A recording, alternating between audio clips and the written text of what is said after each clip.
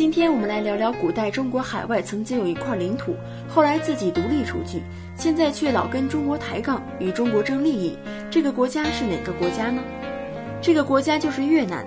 从我们国家建国以来，一天都没有安分过。在秦始皇时期，越南就被划入了中国的领土版图。当时的行政区域划分的名字就是象郡。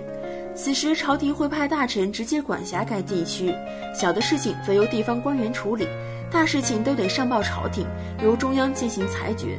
遇到重要的事情，还得经过皇帝亲自过问。秦朝的寿命十分短暂，伴随着秦朝的衰落，南海郡的地方长官赵佗趁乱起兵造反，建立了南越国。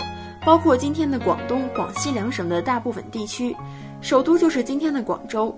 其实也不能全怪赵佗。秦二世后期，国家四分五裂，人民陷入了水深火热之中。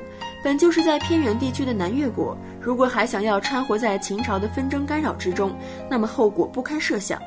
那么这个地区的老百姓该如何生存下去呢？秦朝灭亡，汉朝建立起来了。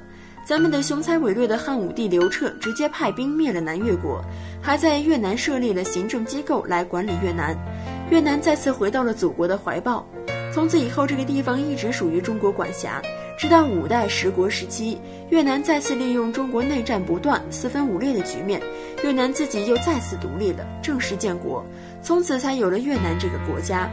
虽然此后宋元时期的中国皇帝曾经对此想收回失地，但都是以失败告终。直到明朝，明成祖多次派兵征战越南，这让越南十分畏惧。几次战争下来，越南逐渐老实起来，不敢动不动就侵犯中国的边境地区。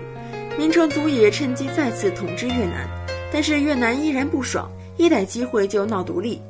这个契机就是明成祖的去世，此时的越南又活跃起来了。